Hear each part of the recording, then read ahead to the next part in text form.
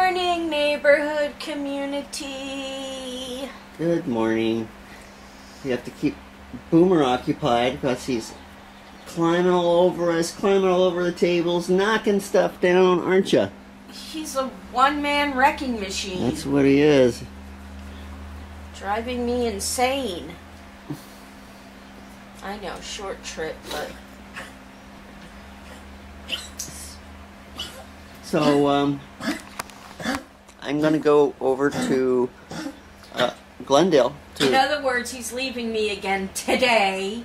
do you hear that, Boomer? You're gonna have to keep her company. No. Don't leave her side. No. Just be right there for her all the time, okay? Just like this, yeah. Oh, I have one already. I don't need another. Oh, okay. Mine's right here. All right, so I have to I'm, I have to fix a floor underneath the, re, the old refrigerator there because it was a it was a mess before we even got there, and I, I got to see if I can replace the flooring. I'm just going to bring some of the, our flooring with me. Let's see if I can replace it. They won't match. No, but it's going to be underneath the refrigerator. It doesn't matter. It just needs to be flat and look okay when Not moldy and Yeah. yucky. so that's what I'm going to do. And Kirsty may come over and spend the afternoon with me coloring. So, Mhm. should I show him what I'm coloring? Sure. I'm really proud of this one, guys. Very nice. Very Not nice. done yet, but I'm really proud of that one. And I'm also working on this one. Very, very nice. My book is almost complete, so I'll be getting ready to show you guys. You want to say good morning? Come on. Daddy's got the camera. Daddy's got the camera. Good morning. Oh, Good morning.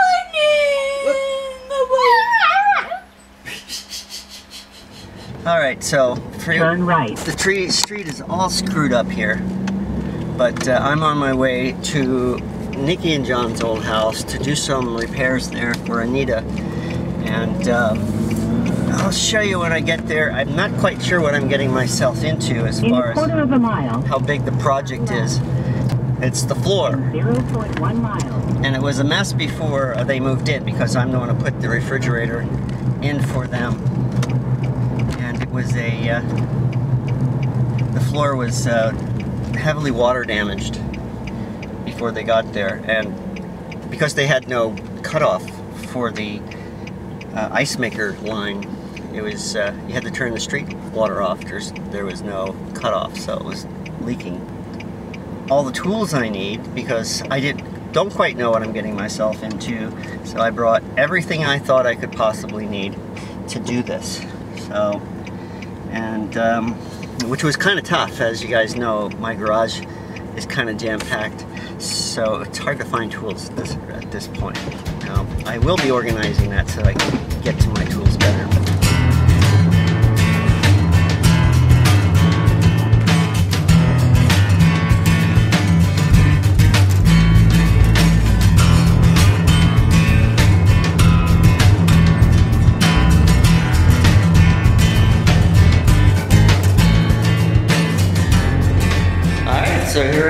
Back at the old Nikki and John house, and this is what I have to deal with. Um, there, the floor here has been wet, and it's been wet for a long time, and I would say that this started um, before Roger died.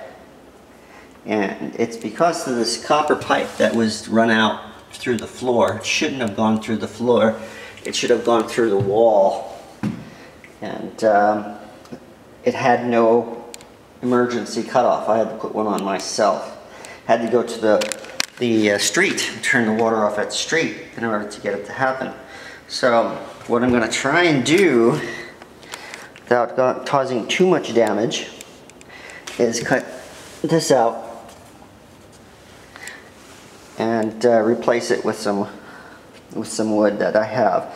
Now it looks like it's down to the substrate and it's real wet and spongy and I need to fix that for sure. Okay, so I was just about to get started. I was cutting a line and I pulled one of the pieces of uh, wood up and looked at the back of it and realized that we're dealing with mold here.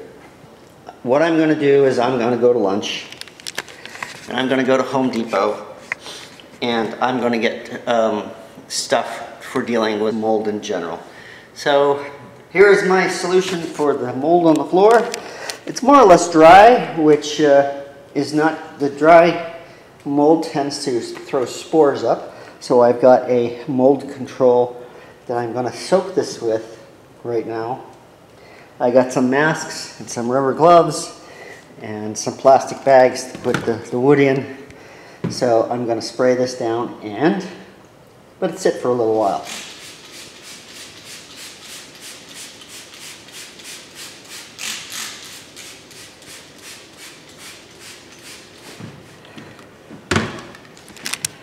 Okay, I wanted to make sure it was good and wet.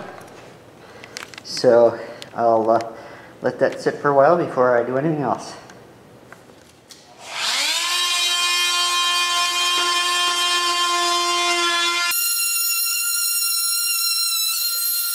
Alright, so I've gotten down to the substrate, which is terrible. And I'm not even sure what it is. I, I see that there's concrete on this side. So I think that's where the uh, house actually ended. This may be the wall, original wall. So I'm not going to cut into that.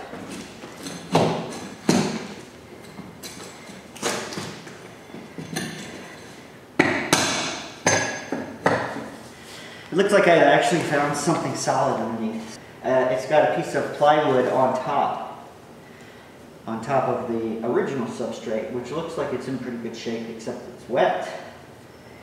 So let's see what we can do.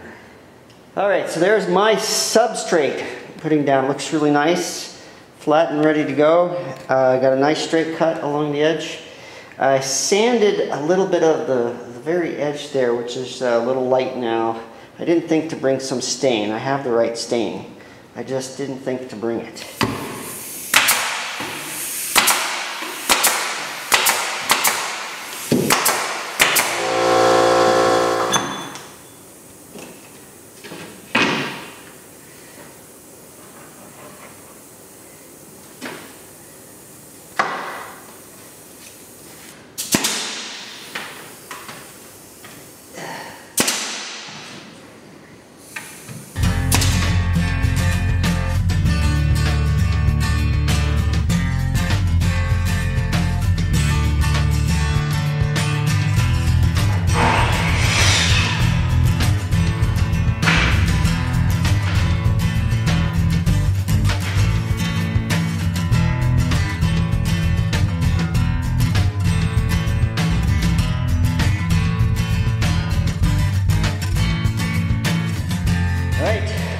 Is done.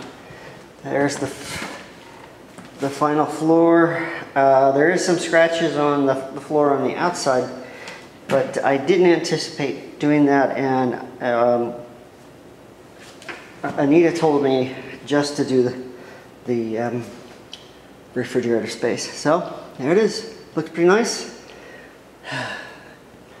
Could use a paint job inside, but that's another day I would say cleaned up.